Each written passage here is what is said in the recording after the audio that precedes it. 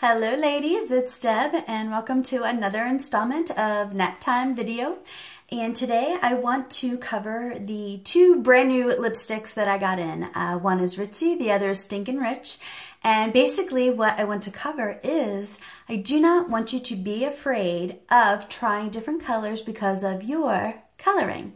Now, real quick, let me highlight this. Check out this side of my face compared to this side of my face.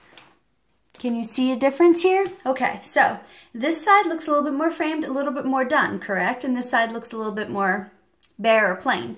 Um, I have done my one eyebrow with our gel and our liner. I also have on my 3D Fiber Lash Mascara compared to my regular old mascara and nothing on this eyebrow. So big difference. You have to check these products out, ladies, and they are just amazing. They will do wonders for your look.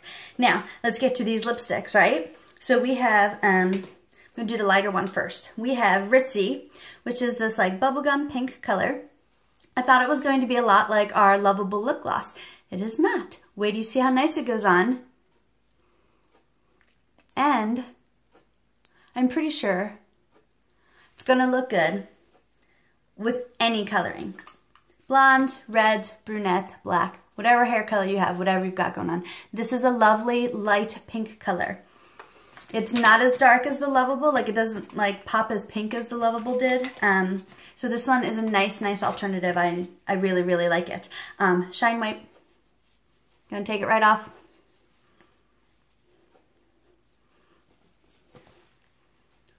Sorry, dry my lips off a little bit.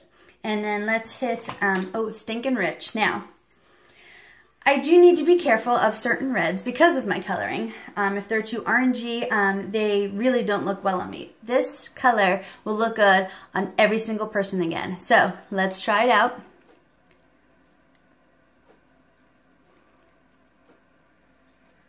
Now, I would not wear this like during the day,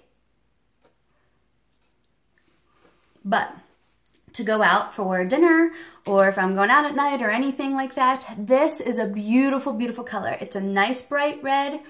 I don't think it has any um, orange or yellow or uh, purpley undertones at all. It's just like a pure red. And I really, really think it's going to look good on everybody again. So, what do you think? Um, they're the two. They're the brand new ones I just got in. I love them, and I hope you love them too. Uh, the lipsticks are so creamy and rich, and they actually feel like they're moisturizing your lips, so it's a wonderful thing. Uh, go to my website, mascarabliss.com. Check it out. Have a great day. Talk to you soon.